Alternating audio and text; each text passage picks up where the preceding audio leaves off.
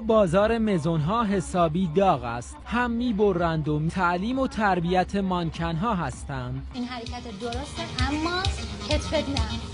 اما بدن بوده اگر سری به مزون های آنلاین در فضای مجازی بزنید با تصاویر خانوم های جوانی روبرو می‌شوید که هر چه می‌خواهند میپوشند و به راحتی هم میفروشند. طرح مانتو یا شالم و بیشتر از مزونایی که حالا تو اینستاگرام فالوورشون هستن برمیدارم. طراحان این لباس ها از آن سوی آبها برای ما نسخه میپیچند. یه تیمی تونستم جمع کنم که خب خیلی هاشون خانواده هاشون دوست نداشتن که دختراشون این کار انجام بدن. هرچند اغلب این فروشگاه های برخط دارای شماره تلفن های ثابت و آدرس هستند اما پاتوق اصلیشان کوچه پس کوچه های شبکه های اجتماعی است. اگر از تصاویری استفاده کنن که موردهای غیر اخلاقی باشه این گزارش میشه به اداره نظارت بر اماکن عمومی و واحد سنفی پلم میشه. ظاهرا خود واحد سنفی آدرسی برای برخورد ندارد. اینا بیشتر در واحدهای مسکونی هستن اصلا مجوز تجاری یا اداری هم ندارن. به تبعیت از این مزون ها برخی از کاربران هم که رویای مدلینگ در سر دارند با پوشش های نامناسب از خود عکس می‌گیرند و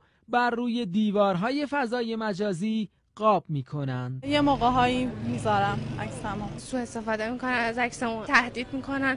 عکستو دارم. این شبکه ها می‌تونه هم فرصت باشه هم تهدید.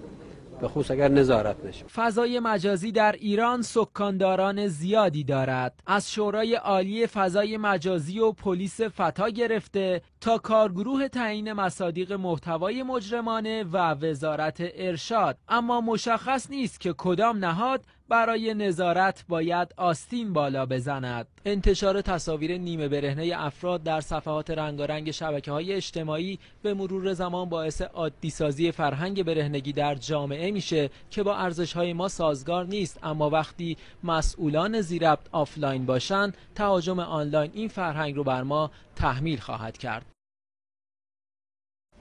دریافت و